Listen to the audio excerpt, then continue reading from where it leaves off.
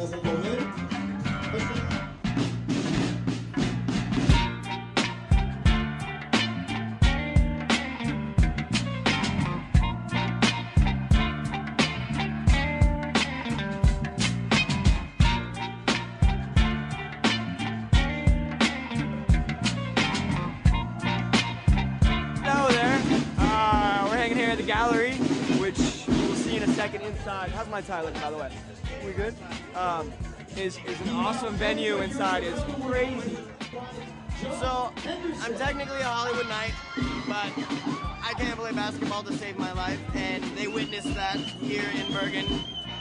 It's such amazing uh, cause uh, to be a part of something so amazing, and uh, I want to come back. Want to come back.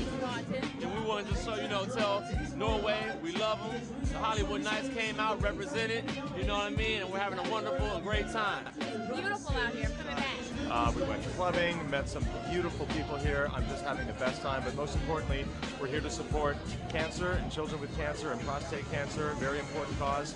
And uh, we did lose the basketball game last night, but that's okay. We put up a good fight, and that's all that matters. So, having a great time. We'll. Well, um, I'm here tonight for a great cause for the Da Vinci, um, the Da Vinci uh, surgical system, and uh, I was just going over it, and I think it's great how they're making new improvements in technology. Um, it's just amazing to be able to come out here and help people, uh, and you know, help people all over the world. That's kind of our goal. And um, anytime I can do anything to help a good cause, I'm there. So uh, here we are in Bergen, Norway, and I'm ready to have a good time tonight. Mwah.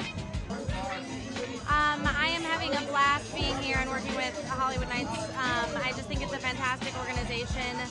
You know, I think working with the Norwegian Cancer Society has been um, truly a wonderful, wonderful thing, and I feel very, very blessed to be a part of it.